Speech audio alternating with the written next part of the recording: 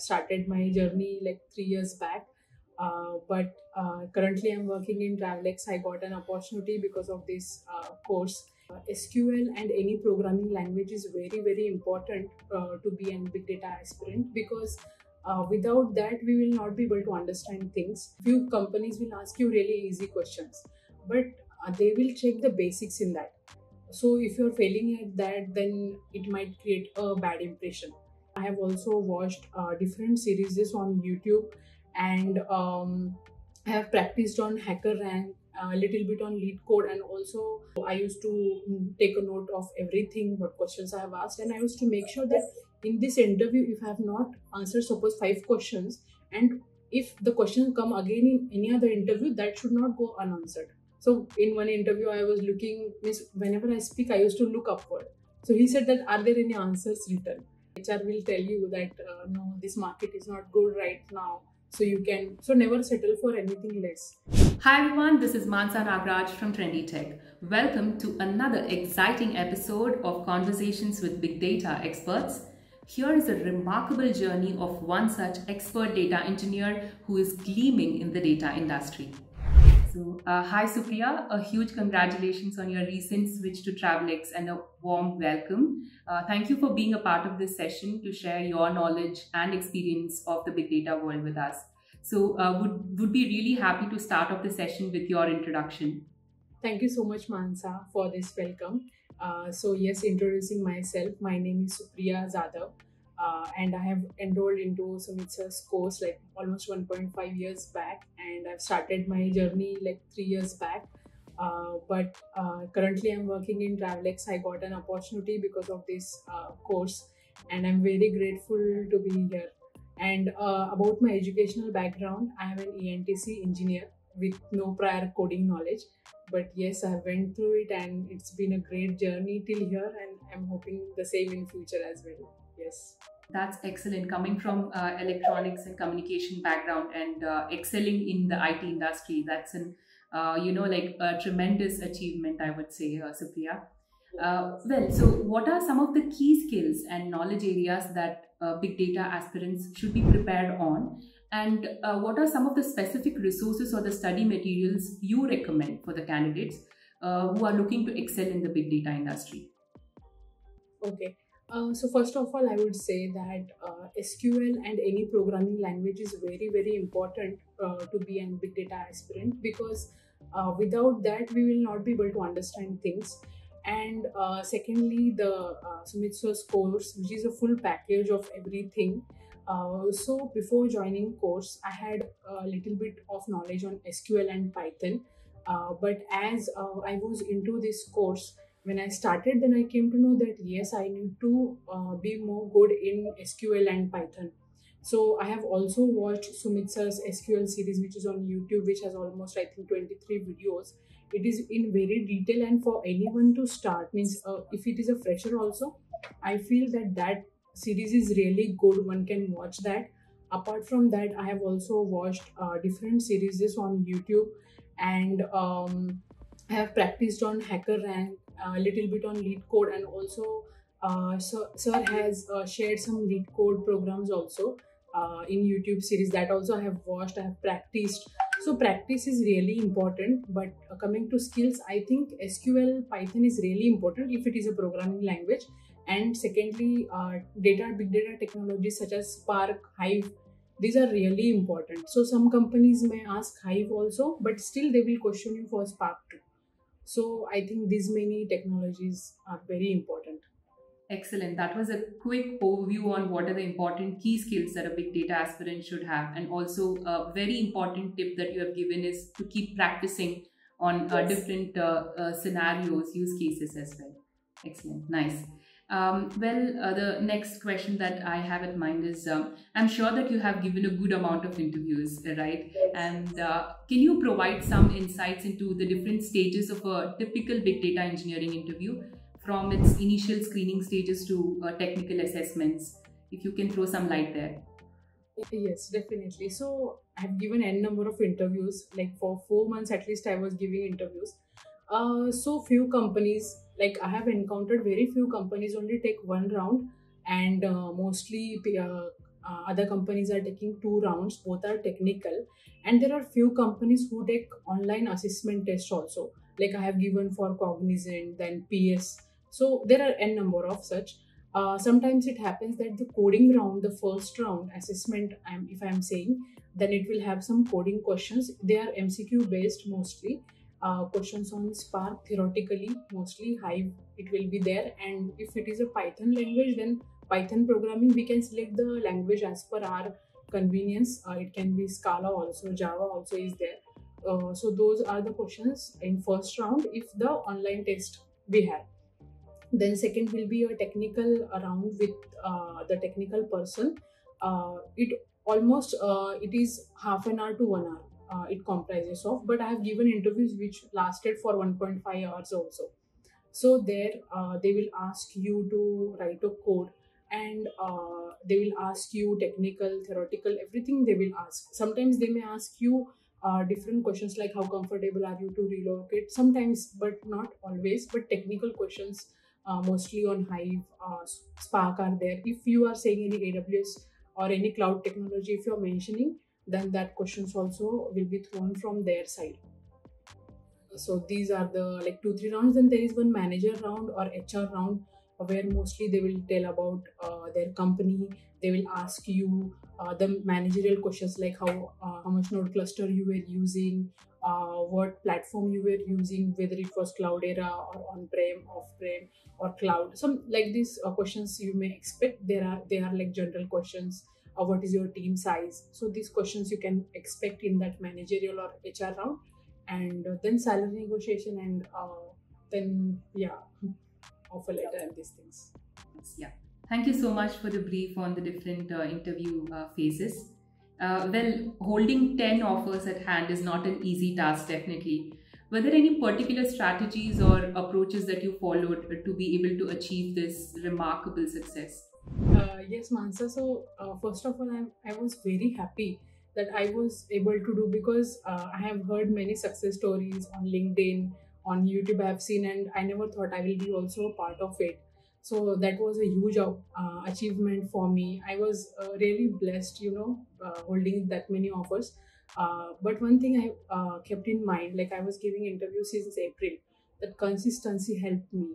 Uh, for first month, I did not receive any good feedback from any of the company, but I just kept in mind that I have to do my bit. I have to practice. I I have watched Sir's video a number of times whenever I used to encounter an error, I used to refer my notes, but I used to go back to uh, Sir's videos and I used to uh, learn. So what happens is when you're giving interview, we might think that interview went well, but we don't know what interview needs uh, or asks from us.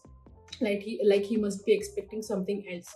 So we have to figure out that that what exactly I can do so that the answers are more crisp and clear so uh, these things so i used to mm, take a note of everything what questions i have asked and i used to make sure that in this interview if i have not answered suppose five questions and if the questions come again in any other interview that should not go unanswered so i used to take care of that. That helped me. So at a time means at a certain stage what happens is you know everything. Because you, from the previous experiences you have noted down and you have worked on it. So that i have did. And because of that it helped me to crack many interviews. Then third thing is confidence. Though sometimes happens that you know everything but you are not confident enough. So one interviewer was continuously you know uh, asking me is it right? So he was checking my confidence. So if you know 100% that yes whatever i am answering is right you have you don't you have to stick to your point. You don't have to get influenced by him. So he will continuously check for that. Uh, so you have to be confident calm. Sometimes what happens is uh, we are like afraid or we get nervous that oh this went wrong but it's fine.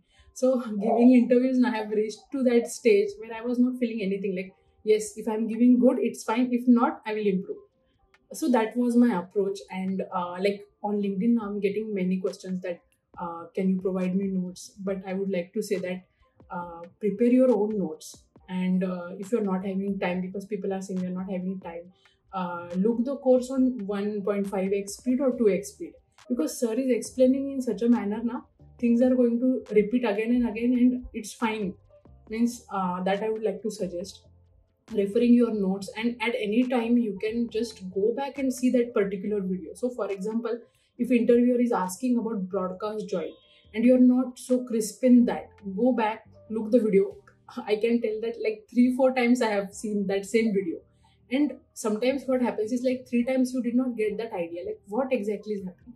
But fourth time you get to know okay this is what interviewer is expecting from me so these things have helped me consistency then uh, looking the videos again and again and concentrating focusing and yes that's the and don't give up.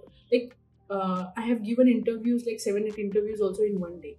You must be thinking that okay this company i will not join why should i give? You just give the interview because you never know what you will learn from any of the interview. And that helped me very much to uh, get like uh, through these interviews like getting 10 offers and it was a huge achievement from for me. Yeah truly. You are you're so right on that supriya. Having uh, getting that feedback from the interviews that you have attended can prepare you really well for the next opportunities. That's one key yes. takeaway that you have mentioned. And also yes. being confident in whatever you have upskill yourself with the technical expertise that you hold. That's a very important crucial point there Right. Thank you so much for that, uh, Supriya. The next question that I have for you is uh, uh, what type of technical assessments or coding challenges can one expect in the interviews and uh, what level would it be and how should they approach them? Okay. Uh, so level is not so difficult. It is uh, moderate, easy to moderate. Few companies will ask you really easy questions, but they will check the basics in that so if you're failing at that then it might create a bad impression. So sometimes what happens is we go for uh, big things and we miss the basic things. So that we should more focus on uh, coding challenges. Uh, so as i was from non-tech background means non it i was i never did coding in my college. So uh, as of now like breaking a problem into two three pieces then analyzing it sometimes the solution is really very simple. It had happened with me in interviews it's very simple and i'm thinking something of complex. So interviewer has told me that maybe you can uh, find more simpler way and do that. So that i have thought of that just go from some simple things because that will help you to solve the problems uh, coding challenges. And also I, will, I would more focus on sql queries because they are really very very important. And uh, you might think that the query is a uh, little complicated but just break into small pieces solve that and it comes when you practice. So when you practice now sometimes if you forget also but still your hand works. Like okay this is the syntax syntax and you are going in the right direction. And one more thing is whenever you are writing any code or any query first of all share the approach with your interviewer. So what happens is sometimes we are wrong and maybe we will proceed into wrong direction. So that is the reason we have to tell them. And uh, they also acknowledge us because they also don't want that we should fail uh, so they acknowledge us they tell us that yes maybe you can go in that direction. Then you can take that approval and then go ahead. It will uh, make a huge difference when you're solving a problem. Right exactly. Yes. that's a uh, it would make your life easier there right? Uh, yes. so when you keep on interacting with them you might end up getting the solutions as well and, and going yes. in the right direction. Very true. Yeah. So um, supriya with this uh, you have worked with companies like uh, Capgemini in the past and now with Travelex. Uh, could you throw some light on the various kinds of projects that you have been a part of? Uh, yes, so uh, I have been into one PySpark uh, project and which I have did on Databricks. That time I was, I was very new to Databricks. I did not had any knowledge about it because I was little bit inclined towards AWS. So I never thought that I should work on Databricks as of now or Azure. But when it came, like when there was a project and requirement, I started and it things seemed easy. Uh, few things like uh, I did it on my own. Few I took help, and obviously course was always there. So I used I used to watch that and uh, perform some operations. Uh, I have did one project in PySpark, one on Hive. It was a migration project. So uh, these two technologies I have used, and uh, in one of my project, like it was a POC project, that I have used AWS services. So not so much I have worked on, but from that i have gained a lot of information like if we have worked for maybe some time only in particular technology but i myself have deep dived into it and found out that yes what else can be done with that but mostly these technologies i can say Right. Um, well, beyond this technical skills, what are some of the behavioral or the soft skills that interviewers may assess in the big data engineering interviews? Uh, yes. So first thing is we should be very properly dressed. We can't wear anything and sit for the interview. Uh, then uh, whenever whenever we are speaking, it should be very clear. And every time we should not face this internet issue. It happens. So we should find out that proper way, or we should have a good connection because it really creates bad impression uh, on an interviewer that every time it is disconnecting, they may think that you are copying also. So this may happen. Then uh, when you are speaking, have good confidence, your communication skills, your eye contact. So in one interview, I was looking, means whenever I speak, I used to look upward. So he said that are there any answers written? So that time I understood no, I should look into the camera only. I should not look up by mistake also because they might feel that. And one more thing was that my answers were really crisp and clear. That he said, "Are you uh, really means looking?" But here I would say that Sumit sir explains in such a way that that is already into my mind. Whatever he has uh, used the words uh, basically. So in that flow, if you answer, he might also think that how you can be really good. So that I have uh, encountered, and I was happy for that. Uh, and yes, this many like speaking skills. You should be confident. You should not uh, look here and there. Your hands should be placed in proper manner. Uh, you should not move again and again. And if there is something, you have to uh, tell that person, like interview, that I'm facing this issue in advance. You can tell, so he might get not get confused. Your background should be good. Miss good sense it should be plain. It creates otherwise the interviewers uh, miss can see here and there, and it you know it's kind of distraction. I would say. So these things, little things, but are important. I would say. Excellent, nice. Um, and uh, the last question that I have for today is uh, what is the high percentage one can expect after transitioning into the big data world as per you? Uh, so, as per me, I think more than 100% one can expect. Uh, uh, I would also say that HR will tell you that uh, no, this market is not good right now. So, you can, so never settle for anything less. Always ask for whatever we des- you deserve so um, I think beyond 100% or 150%, some might get 200% also, it's fine. But it happens that uh, for me, I was like above 100%, I was fine and I was, I got like almost 150%. So I'm very happy with that. Thank you so much for being a part of the session, um, uh, Supriya, and uh, very huge congratulations again from Sumit sir and the team Trendy Tech. Uh, we wish you loads of success in your future endeavors as well. Thank you. It was a very great um, uh, session. You have shared a lot of information which will be helpful for all of our audience. Thank you. Thank you so much, Mansa, for inviting me. It's really great honor to me.